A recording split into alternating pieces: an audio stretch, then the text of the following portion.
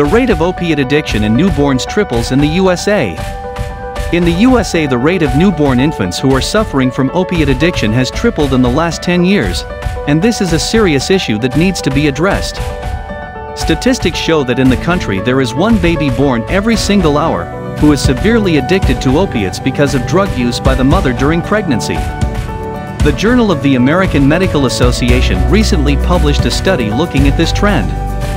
The study also shows that the rate of OxyContin and other opiate prescription medications given to expectant moms has multiplied five times during the 10 years examined. The author of the study Dr.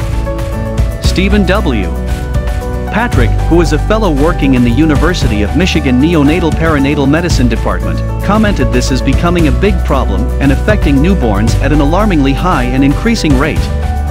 Opiate addiction in newborns causes neonatal abstinence syndrome from the withdrawals.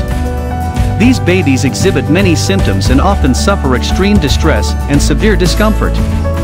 Irritability, seizures, difficulty breathing, hypertonia, and intolerance for feeding, tremors, and skin sensitivity are all problems experienced by babies who are born with an opiate addiction. Substance abuse treatment is needed before pregnancy starts, and many physicians need to re-evaluate the risks of prescribing opiates versus the possible risks of not managing pain properly. Some medical conditions do require strong drugs, but during pregnancy the use of these medications often lead to opiate addiction in the newborn. Everyone in society pays the cost when infants are born with an addiction and experience withdrawals, and the average hospital costs for these high-need infants is more than $53,000.